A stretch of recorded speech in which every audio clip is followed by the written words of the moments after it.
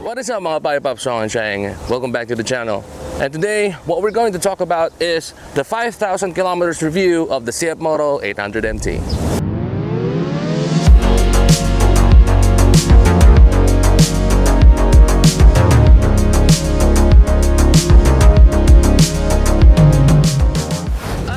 using the CF Moto 800 MT since November of 2022. So basically it means that it's been with me for a couple of months now.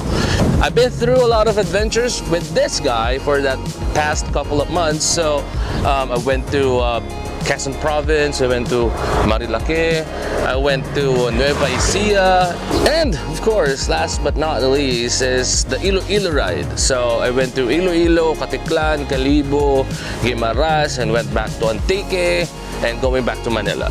So I think I'm more than qualified to say that I can actually talk about the performance in the in the past 5,000 kilometers of this bike. And by the way, this bike is named Magnus, so um, one of my followers actually named it, so shout out Puppy. So of course, before anything else, let's talk about the specs.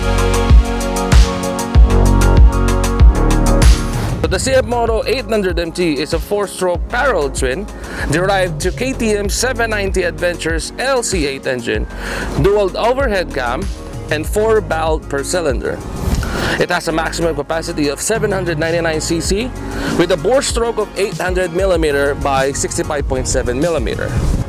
And it has a max power of 95 horsepower at 9,250 RPM and a max torque of 75 Nm at 8,000 RPM. And what keeps the bumps away is a 43mm KYB upside down forks which is fully adjustable with a 160mm of travel. For the rear suspension, it's also KYB monoshock and then I'm not really sure but I think it's semi-adjustable. And it has a 150mm travel. So that's what actually makes the ride comfortable.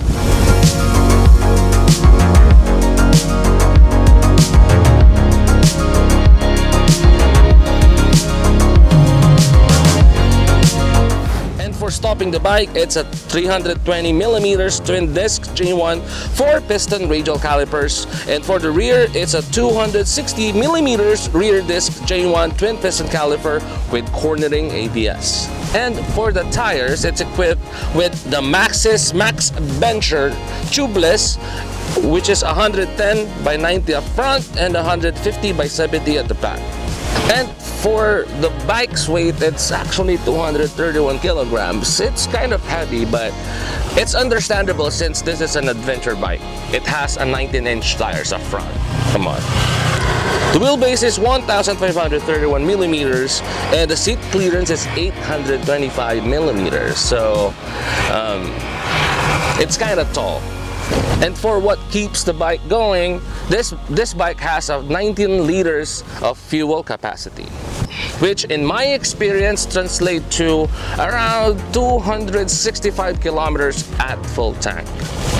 So there's actually a couple of things that I really want to talk about in terms of my experience with this bike. Number one is a vibration. Although we all know that this is a parallel twin, so basically it will have vibration because it's not an inline four which has less vibration. It's very apparent at the early stage of the break-in period. After your first 1,000 kilometers, it will lessen. I mean, it will not go away, but it will definitely lessen big much. And uh, the second thing that I wanted to talk about on, on my experience is the quick shifter. This, this bike is equipped with quick shifter up and down. So it has auto blip, uh, auto blip and quick shifter. Um, on the first 1,000 kilometers of this bike, actually the quick shifter feels funky or it doesn't feel right sometimes. Sometimes it doesn't feel right, sometimes it's okay, sometimes it's very smooth and but most of the time it's really hard like to do some upshift, especially if you're coming from first gear or second gear. So um, at the first 1,000 kilometers, I find it really hard to use it but after the first 1,000 kilometers, actually, it's really smooth right now. Although there were times that the, the power cut or the fuel cut when you upshift, sometimes it feels kind of weird when you're uh, in fourth gear going to fifth gear. Sometimes it's kind of like I'm not really sure how to how to put this. It's kind of delay. So I actually talked to the dealership about that, and uh, they said that they're gonna take a look at it. So yeah. And the next thing I want to talk about is the rear brake and the rear ABS. For some reason, the rear ABS is uh, very intrusive. And there was this experience that I had that I just lightly tapped the rear brake and the ABS goes crazy. I mean, I know that it's trying to keep me safe, but I mean, ABS are very intrusive. Although it really doesn't really bother me that much. That's why maybe I'm not complaining about it in the dealership. Um, but yeah, it's very intrusive. I mean, for me, it's not too bothersome, but for some, it might be. Especially for those people who goes through off-road, goes trail using this big of a bike, which which for me, um, I don't plan on doing so. but yeah, it's very intrusive. Okay, and that's about it for the slightly negative stuff about this bike. So let's talk about the positive stuff. And number one is the power. To be honest, I'm very happy about the power. Thanks to the ride-by-wire technology, the engine is very, uh, the, the engine feels very, very responsive. So whenever I hit that throttle, actually, it always gives me a big smile on my face. With that um, 75 newton meters of torque and 95 horsepower, to be honest, I'm quite satisfied with it. I mean, you don't really expect to go like 200 kilometers with this bike because technically it's not built for that, but it can. You're not expected to do like speeding with this bike because it's not built for that. However, for long highway miles and long travels, this bike is gonna take care of you real good. And the third thing that I like about this bike is the tech. Number one is the cruise control. Yay for cruise control. To be honest, I never had a bike with cruise control before, so this is actually a first for me. Maybe that's why I'm very, very happy about it. Um, especially when you go like uh, highway riding. It, it feel, I mean, I did mention about vibration. Sometimes for a, if you ride for a prolonged period of time, you, you, you'll definitely start to feel that vibration taking over your hands. So with, with cruise control, it's actually save you from that worry. So, um, especially when I was in Iloilo, and there's this like around uh, 300 kilometer stretch of road, um, I just like, uh, I, I just use my cruise control. I set it to 80 and 90 and then I left it as it is. and the next thing I like about this bike is actually the TFT display. But this one, it's, it's just a simple, it has a simple layout, but I mean, the most important part of it is that it has all the information that you will need.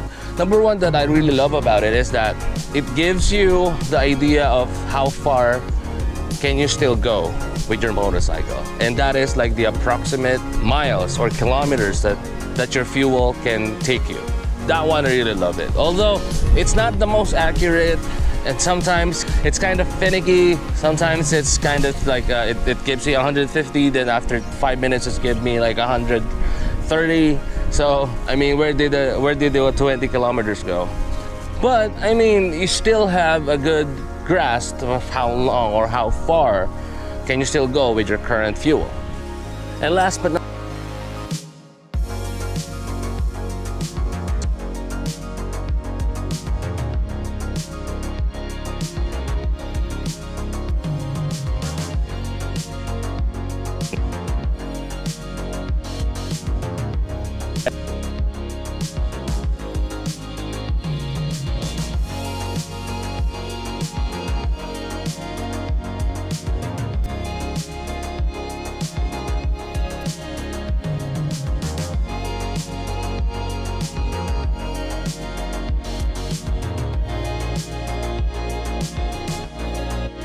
pretty good looking bike.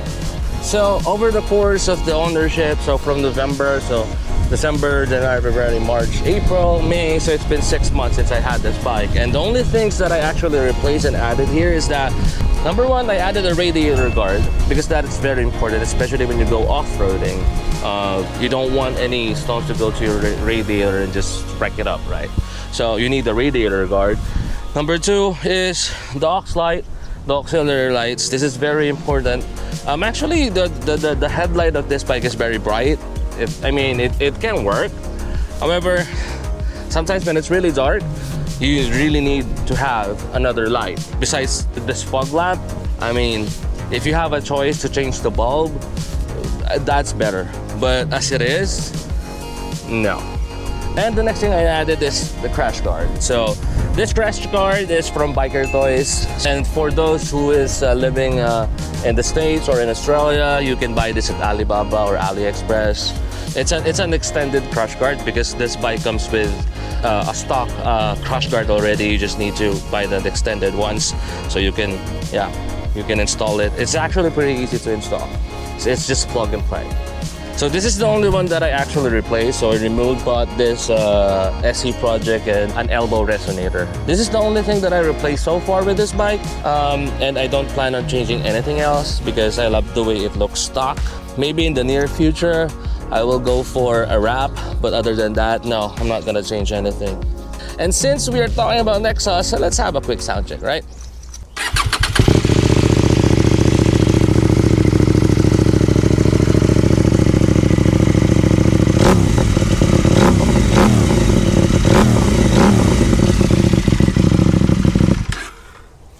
Sounds good, right?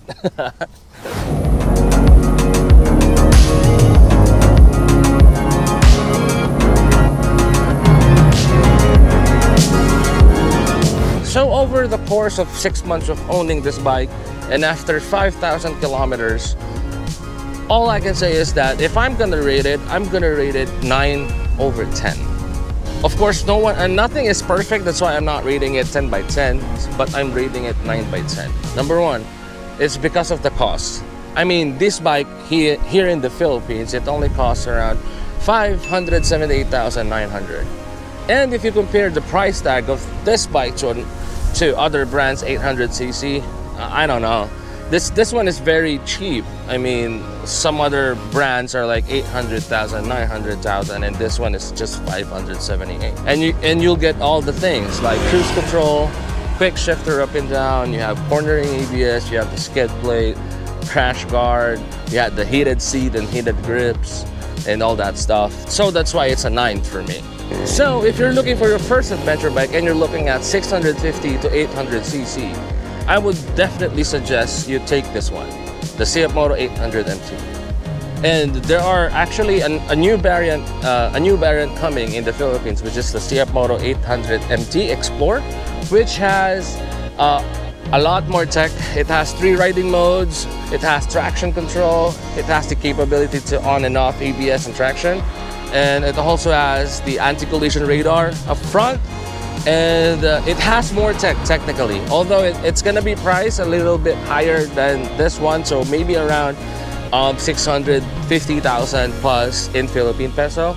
The, again this is only 578,900 I mean it's just a little higher than the uh, 800 MT Touring. So going back to what I was saying uh, is that I really recommend this bike because number one it has the power to not uh, to not make you feel like you want another bike because it has a 95 horsepower and 75 newton meters of torque. And the comfort level of this one is really good to be honest. If you're thinking about like Kawasaki 650 versus this one I would definitely go towards this one not with the Kawasaki. Although yes uh, the re the re reliability of the of the Kawasaki is proven all throughout the years because Kawasaki Versys 650 has been in the market for a long year for a long time compared to this one that this this guy was introduced in the market way back 2019 or 2020 that's why I do I do understand that there's a bit of skepticism about about the brand especially its origin but let me tell you this guys.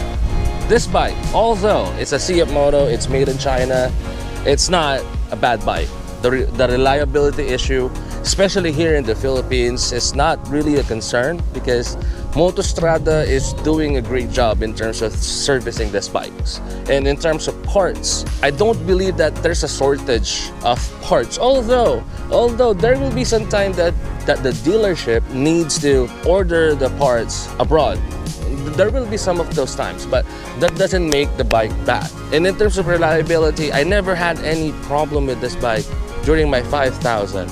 And I know some people might say it's just 5,000 kilometers, but for me, to be honest, 5,000 kilometers this bike hasn't given me any headache, like not any at all. That's why I think for the reliability of this bike, I think this bike is reliable. And of course, part of it is because of the engine. The engine is an LC8 engine. So, I mean, that's a KTM LC8 proven engine. So, guys, I mean, if you're still doubtful about that, I don't know anymore. So, to wrap things up, again, I believe after 5,000 kilometers that this bike is number one, reliable, comfortable, the power is good, and this is truly a recommendable bike. So everyone out there, if you're looking for your first adventure bike or your second adventure bike, give CFMoto 800 MT a try.